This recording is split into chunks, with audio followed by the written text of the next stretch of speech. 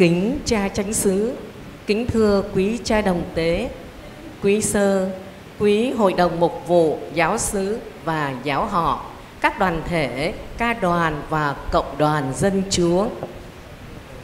Trong tâm tình tạ ơn Thiên Chúa và tri ân cha xứ tiên khởi, Linh mục Du Xe Phạm Hoàng Lương đã hoàn tất sứ vụ tại giáo xứ Martino.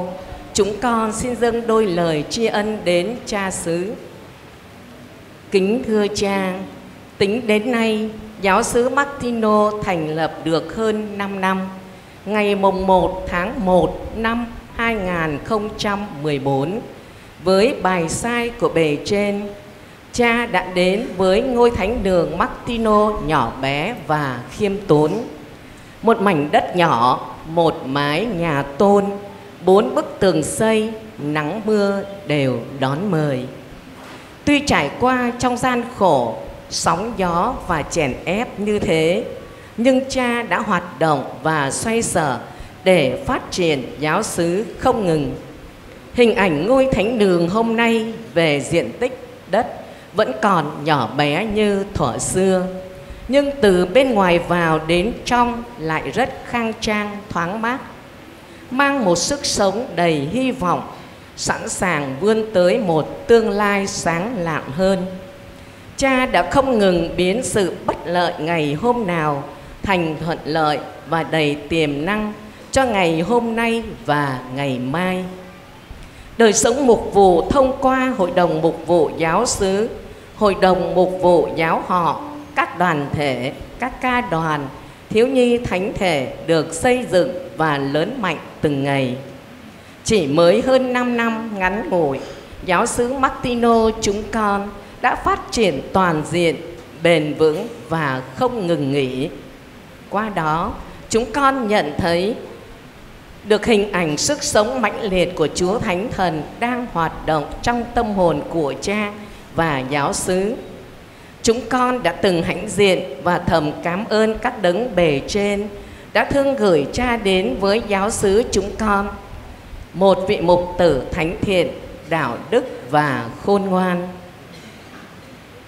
Giữa tất cả niềm tự hào và hạnh phúc của đoàn chiên khi chúng con có được một vị mục tử có mùi của con chiên, mùi của sự nghèo khổ, mùi của vất vả lo toan ngược xuôi, mùi của bất nghẹn khi nhìn thấy những gì để phụng thờ của giáo hội bị chiếm giữ, mùi của sự cô thế cô thân khi bị áp bức và chèn ép. Nay, giáo sứ chúng con đón nhận bài sai của bề trên như một quà tặng rất quý. Nhưng thưa cha khó nuốt trôi nhưng vẫn phải nuốt vì sự vâng lời cho dẫu hôm nay chúng con cùng hiệp dâng lễ tạ ơn thiên chúa và tri ân cha nhưng lòng lại nghẹn ngào đong đầy nước mắt. Chúng con xấu hổ và tự thẹn với lòng mình. Khi thời gian qua hơn 5 năm chúng con đã hờ hững vô tâm với những nỗi lo âu vất vả ngược xuôi của cha. Chúng con đã nhiều lần và rất nhiều lần ngoảnh mặt làm ngơ, vô cảm với lời kêu gọi chung tay góp sức xây dựng giáo xứ. Chúng con bề ngoài vâng, nhưng thưa cha, trong lòng không phục, một cách ngoan cố, cứng đầu và ấu trĩ trước những lo liệu sắp đặt của cha. Thưa cha, chúng con biết rằng cha chưa một lần hờn trách chúng con Cha luôn bao dung, rộng lượng và tha thứ. Cha luôn lo liệu, chịu thiệt về mình để cha ra đi nhưng không để gánh nặng cho đoàn chiên ở lại. Cha đã đến, đã xây dựng, đã để lại tất cả cho giáo xứ và ra đi theo sự vâng lời bề trên.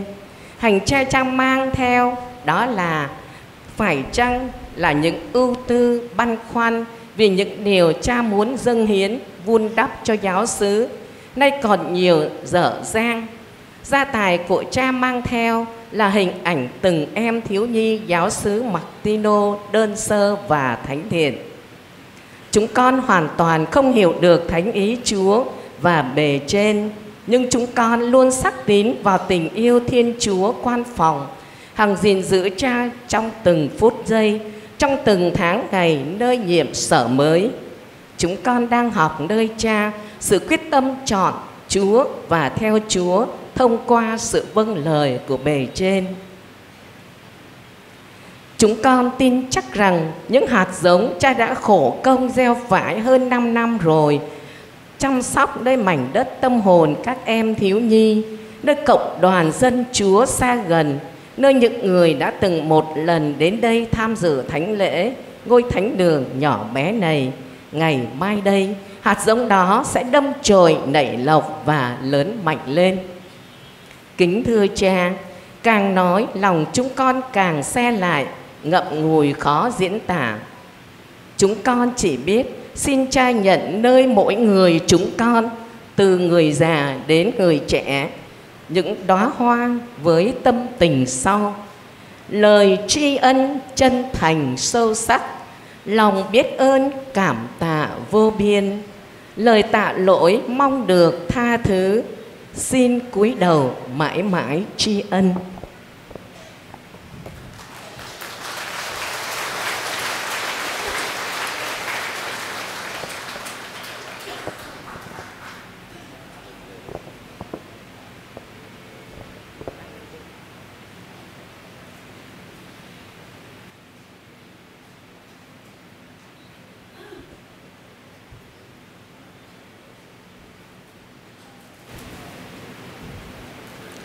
Và lời chúc cuối cùng, chúng con xin Chúa luôn đồng hành với cha trong sứ vụ mới, đặc biệt Thánh Martino luôn ở với cha.